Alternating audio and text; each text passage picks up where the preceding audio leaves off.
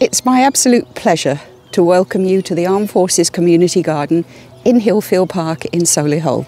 About two years ago, we, that's the RBL and the Council, had the idea of providing a place of rest and reflection for our military family.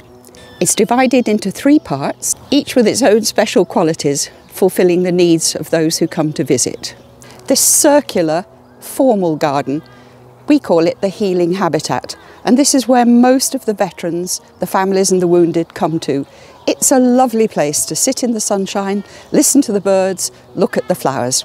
It makes those with PTSD feel very safe. The benches themselves are specially designed to make rising and sitting suitable for those with mobility issues. The plantings in here are to encourage them and their future. For instance, the silver birch trees, which you're seeing, are a symbol of hope for the future. The cherry tree is for new beginnings. So to the side of the garden, you can see these two large planters built especially for those in wheelchairs and also the visually impaired.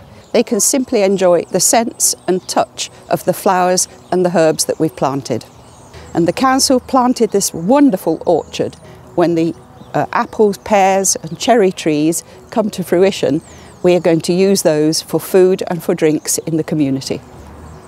People from the local neighbourhood who want to share in this fabulous place and help as well. So you'll see them not only gardening and litter picking, but taking part in helping our veteran colleagues to find hobbies that help them to heal.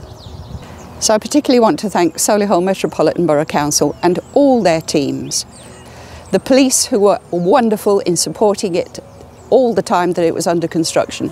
The Armed Forces Covenant without whose financial help in the form of grants we couldn't have achieved this. And a special thanks to the armed forces who sent people every week to encourage us and support the building of this superb place. To them all, from the British Legion, thank you.